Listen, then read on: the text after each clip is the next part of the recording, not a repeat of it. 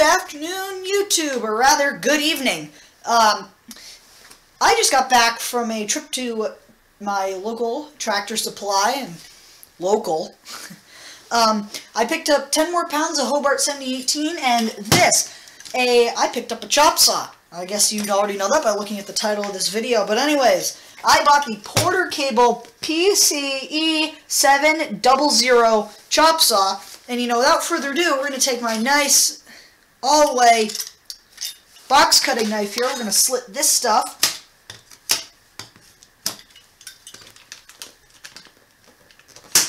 Off the back, off the box.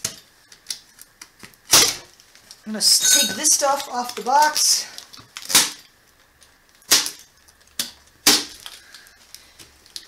And I guess we just gotta slice right into it. Now, the Porter cable stuff is generally pretty high quality, and uh, this got seemed to get pretty good reviews. And uh, so here we go. First thing we have in the box is the instruction manual. Um, and I'm just going to kind of thumb through it here.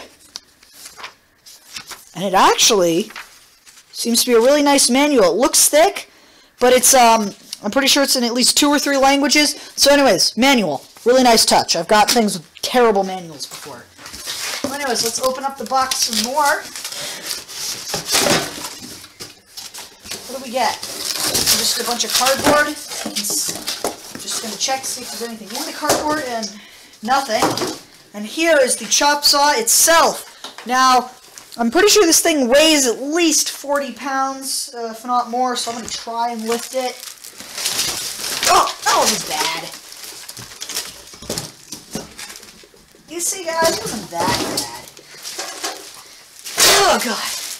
You know what? Let's get this thing on my table. I'm, just, I'm going to kind of go through the box here, see if there's anything I missed.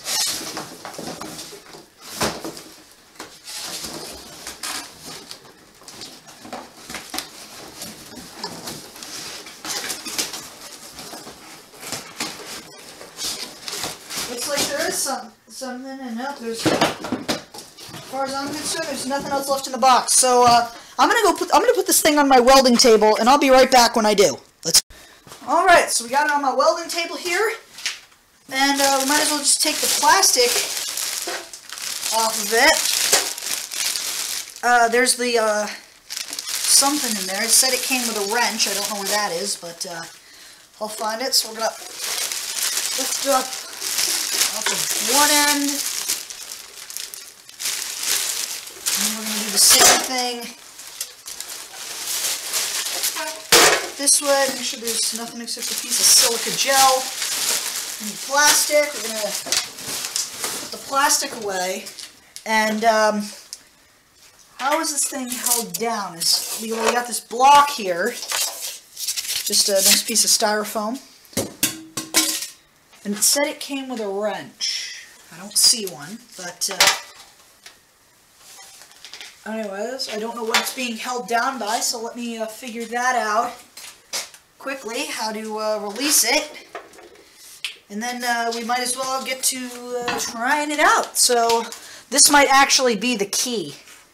Um, just a big Allen wrench, and I'm pretty sure that's what changes the wheel out. So pretty sure that's the key. Anyways, I'm going to figure out how to get this thing um, off. I'm going to look through the manual, and then we'll be right back, and uh, I'll uh, sort of give it a look over. Let's go. Alright, so I got the saw unlocked. Turns out all I had to do was to press this down a little bit, this arm, and then pull that little pin, which is covered in oil. This thing's got a little bit of oil on it. Probably not good, but I can just uh, take a uh, rag and wipe it down. But anyways, so let's go over it. We got this nice uh, uh, steel construction base. Um, it's not half-inch plate, but it's not total sheet metal. I'm guessing it's about an eighth of an inch thick.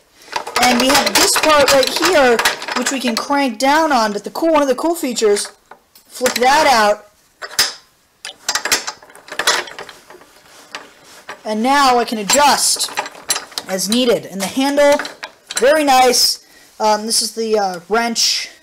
Um, and uh, so we'll move down here. In, in here, uh, let's see if I can't actually have a pen right here that may or may not help.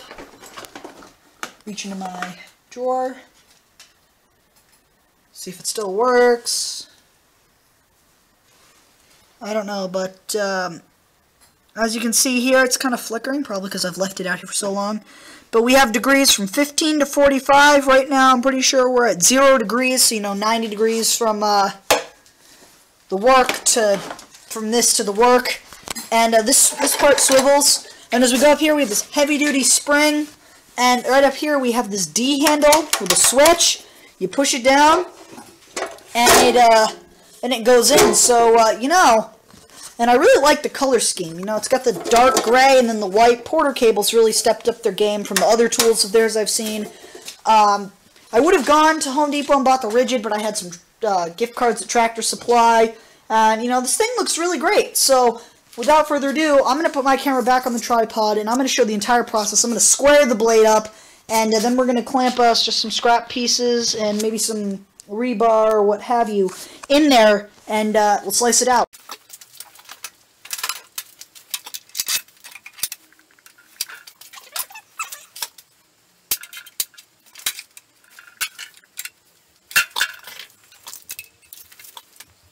Alright, so uh, I got it all squared up. I'm going to put on my uh, 3M respirator. Put out my glasses. And uh, we're going to go grab some, uh, just some stock here. First things first, I guess we got to plug the thing in to my outlet.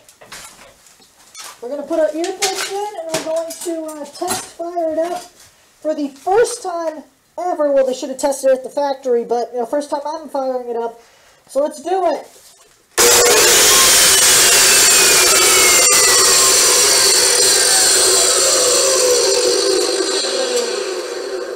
Holy crap, that was awesome!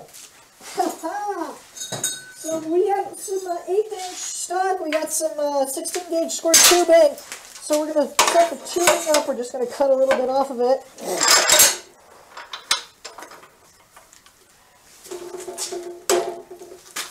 Alright, you there's only one thing that we have left to do, and that's to cut it. Let's do it.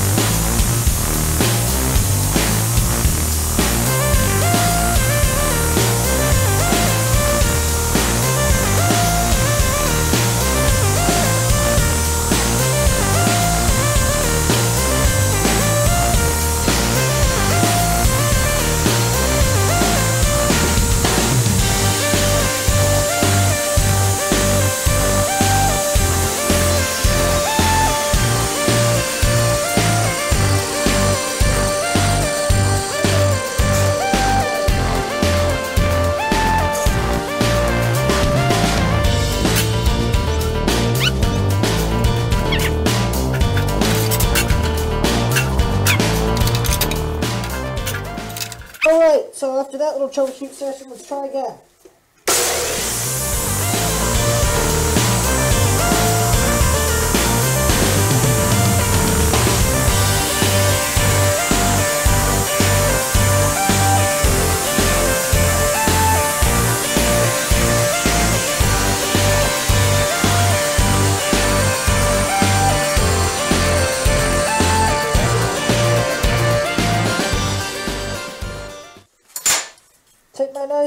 Stainless steel adjustable square that I kind of uh, may or may not have uh, heated up a little too much.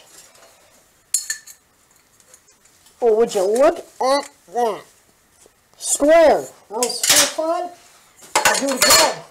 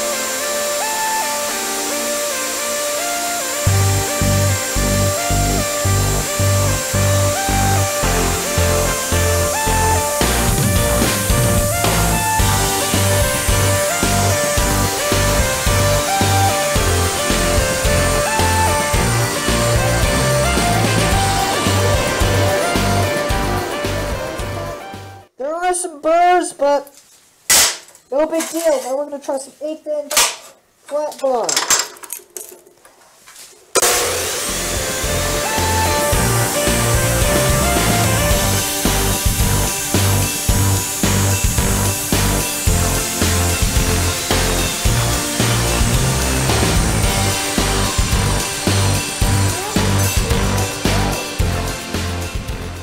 Okay, so I'm going to find a different piece of material, chuck it up in the saw, and uh, we'll slice it out. Let's do it. Alright, we got some of this rebar here. Just to uh, get it clamped up in this awesome vise. We're to see how well this does against some half-inch re steel rebar. Let's do it. First, gotta put my gloves on. Let's go.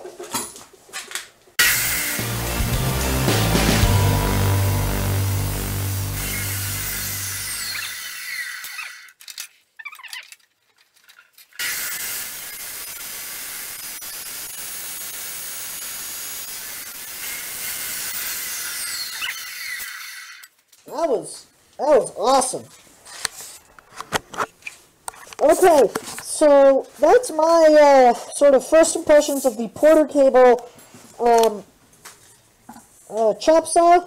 For a hundred bucks, it's not. It's an incredible saw. You just have to see how long it lasts. One thing I could say is they might be able to make better abrasive, but I'll use this blade for as long as I can, and then I'll replace it with like a nice DeWalt or Diablo blade or something like that. So anyways, I'm going to continue to play with this thing some more. I absolutely love the thing. What little I've used it, I love it. Use this feature. Pull out this uh, rebar here, that's still on. And, uh, yeah, so, anyways, I hope you enjoyed this short little video. Please rate, comment, like, subscribe, whatever you can, as always. This is SubDude 350 signing off, guys. See you all in the next video. Goodbye.